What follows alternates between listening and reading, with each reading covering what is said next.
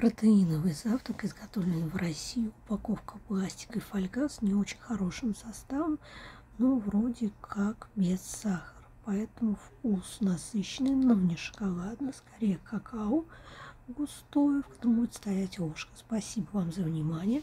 Подписывайтесь на мой канал, ставьте лайки или дизлайки, как пожелаете.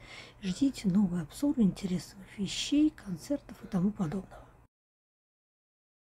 Протеиновый завтрак, изготовленный в России. Упаковка пластика и фольга с не очень хорошим составом, но вроде как без сахара.